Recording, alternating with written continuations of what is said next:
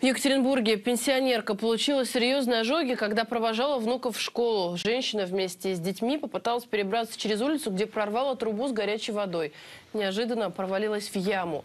Прохожие помогли ей выбраться, вызвали скорую помощь. Медики диагностировали ожоги ног первой и второй степени. Сейчас женщина в больнице, дети не пострадали.